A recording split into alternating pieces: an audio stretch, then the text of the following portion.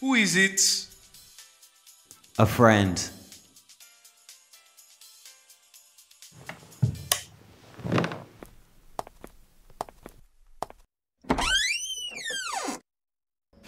Sam? Better believe it. It's been a while, man. Haven't seen you since the uh, Scottish Resistance video. Uh, listen, I gotta talk to you about something. Sure, come right in.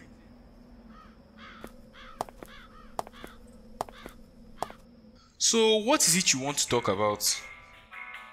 Listen, you know the new summer update has come out, right? Yeah? Tons of new people are getting into the game and they don't know the first thing about defense. So, what you're trying to see. You have to make a defense guide. You can't have every single match getting rolls due to a bad defense, you know? But, why me? Well, you're the one who knows the best strategies, most times. And besides, you haven't done anything for the past three months.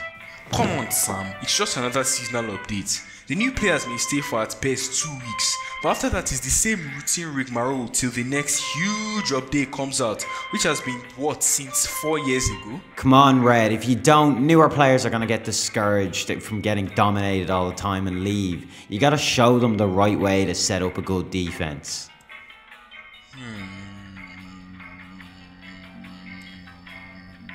I'll help. Mm, Well, you are pretty right. Fine, I'll do it. Alright, let's get this thing started. What is defense? In Team Fortress 2, defense is basically protecting any area of possession or interest from the opposing team. That area might be a control point, the intelligence briefcase, or even any part of the map that you need protected from the enemy. Now that we know the definition, we need to ask ourselves, what makes a good defense? A good defense boils down to many factors. The kinds of classes you use, the way the defending team positions themselves on the map, the weapons, and so on. So let's look through these together, one by one.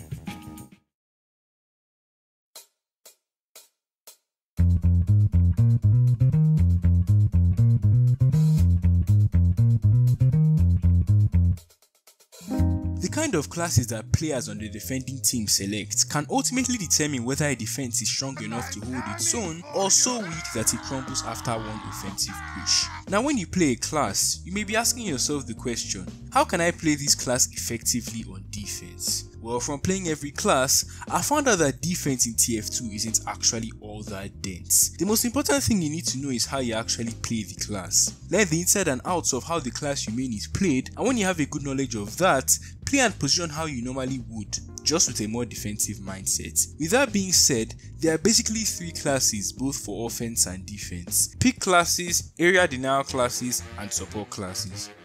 Pick classes include Scout, Sniper, Spy, and Pyro. When playing a pick class defensively, it's important to know that your main goal isn't to do insane choke point holds and whatnot, but to pick off certain enemies like medics, overextending players, isolated enemies, and in general anyone who's giving your team a hard time or is trying to complete your objective. As a pick class, you should always prioritize your targets. Someone who's pushing the cart, capturing a control point, or a medic who's about to pop an Uber is way more important than Pablo Gonzalez 2007 standing in the corner, as that's the best way you can help defend. Know when to engage an enemy and when to retreat, as that can be the difference between an effective pick or you getting picked. And position yourself in order to compensate for the way that your respective class is played. And remember, 7 spies on the team may be funny, but most times you'll only need one or two pick classes to get the job done.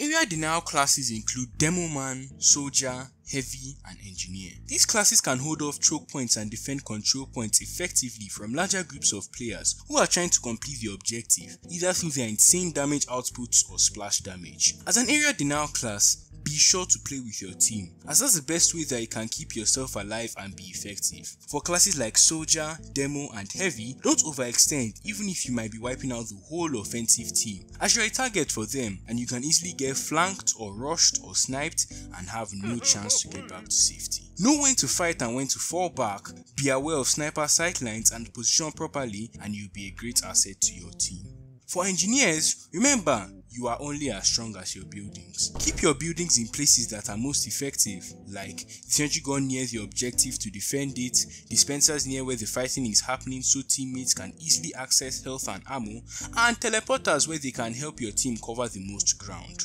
Also, check for spies every so often. A dead engineer is a sad engineer. Support classes, or should I say the support class, includes Medic. This class's main goal is to keep everyone on the team alive and active for as long as possible by healing them. As a medic, that's pretty much your main job. Keeping yourself alive helps to keep the team alive, and that helps to keep the defending team active. Always stay within the confines of your team as you are a major target for any enemy pick classes, and use an Uber when it's necessary, like if you need to give the defense some breathing room, if the last objective is about to be completed, or even if you need to escape, better to pop it than to drop it. Don't be the med that only pockets one guy. Those medics suck. Heal everyone equally and everyone will ensure you are kept safe. And one more thing, no matter what class you're playing, cooperate and communicate with your team. At times, someone just doesn't really care about the rest of their team and dives headfirst into any engagement, which usually results in their demise. I've seen so many defenses crippled due to the fact that no one talks about what's going on. Even a simple, hey engineer, a spy is somewhere, or enemy medic about to pop an Uber can help your defending team a lot. Simple communication goes a lot further than most would normally think. So unless your teammates are rocks or something, cooperating and communicating with your team is crucial for a good defense. In summary, if you play any of these classes well and position yourself properly, your defense is going to be pretty strong and you'll have a ton of fun.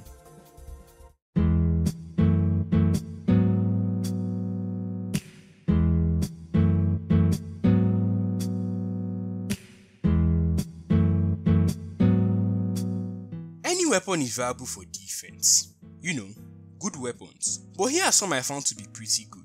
The Mad Milk is a great scout secondary and a great defensive tool, as if you use it on an enemy, you and your team can gain health through damage done. You might not always use it all the time if you have a good medic, but it's great for getting you out of a pinch. The Scottish Resistance is a pretty good weapon for demo as well. Now we can't come close to the sheer DPS of stock due to its slower arm time, but the fact you can lay down more stickies and do it faster than stock makes it great for trapping areas and points, or can even be used normally if you stay far enough. Now I know a lot of people don't like the Brass Beast. It's a heavy primary that makes you even more sluggish than normal, which makes you a big target for the offense. But its sheer damage can rip through enemies, and its damage resistance makes your sluggishness a bit more bearable. The best way to use this gun is position yourself well and use the Dalokohs Bar for that extra 50 health to make yourself the tankiest you can be. The buff banner, the battalion's backup, and the conch are really good supporting weapons for soldier. When you deal enough damage, they give buffs to both you and your team for a short duration of time. Buffs such as increased damage through mini crits, increased damage resistance, and a speed buff and health given via damaging the enemy. These buffs are great for if you need that extra strength to stop an offensive push, or you need to hold a control point against all odds. The Cow Mangler, for Soldier again, is a great primary to pair with the banners. Every primary works well with the banners actually, but the Cow Mangler's Alt Fire fires a huge burst of energy, which gives extra damage and afterburn, which is great if you need to fill up those damage meters for the banners as quickly as possible. It also has infinite ammo, so there's that. Apart from those, most loadouts work well for defense, so as long as you play your cards right.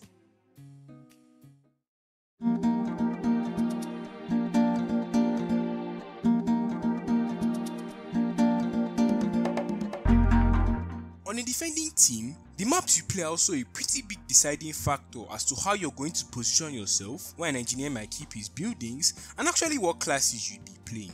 Payload and Attack Defend, which are two very popular game modes, have maps which are a lot more open at the beginning stages of a defense, but as they go on to their final points, they become a lot more enclosed, which is great for area denial classes, but not so great for one pick class, whose high mobility is practically negated, which is Scout.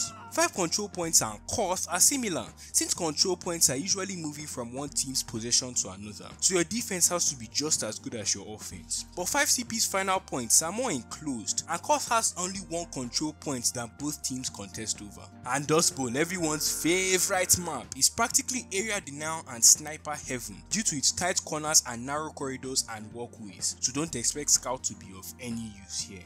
Apart from that, positioning on these maps mostly comes down to practice and knowing what situation you're in. One sure way to know when to fall back is when half your team is down for the count and the enemy team is completing the objective. Better to set up a defense at the next point than fighting for a lost cause. The rest of the positioning will come naturally if you're learning the class or probably is already built into your memory if you're a pro.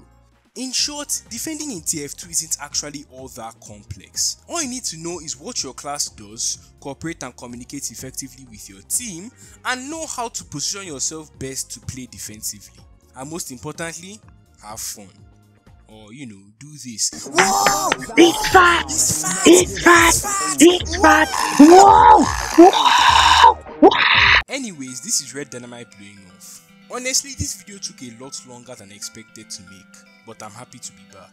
The main reason I didn't upload for so long was that I had a lot of work and stuff to do this season, so I barely had that much free time. But hey, here we are. Special thanks to NotsamG which helped me voice the beginning, Indie who helped out with the SFM, and uh, yeah, some updates is great. I'll probably make a um behind the scenes video of like this whole process and stuff, you know, like you know how I recorded and all of that. That should come up maybe next week. I don't know, probably soon actually. Anyways, well, see you guys later and